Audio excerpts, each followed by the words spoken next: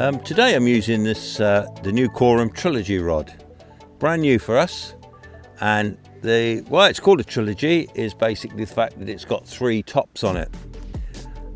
There's a one and a half pound top with a quiver tip. There's a 175 and a 2.2. So basically it covers all your fishing. You know, whether we're on a, you know, a large lake like we are today here at Larford, catching carp and bream. Again, the rod works just as well down the river if you want to go and catch some barbel and chub. You know, whatever your preference and depending on how much water's in the river and how much size leads or feeders you might be using, you can use one of three tops.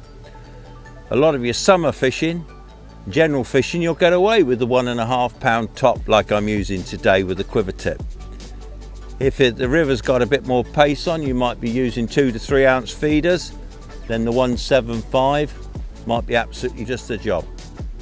Conversely, if you go up to bigger rivers like the Severn and the Trent, and you might be using three and four ounce feeders, then you probably might want to be thinking about using the 2-2 top. And that would also work well in the floods, you know, with bigger weights. The rod itself is 12 foot long as I say, it's got a lovely new carbon wrap through it and it's got actually Trilogy written into the cork butt. So it aesthetically looks great, but more importantly, it fishes really well. Very sensitive, very reasonably priced, and I think you should go along and have a look at your local stockists and uh, see what you think. I think they're great. Have a look at them yourself.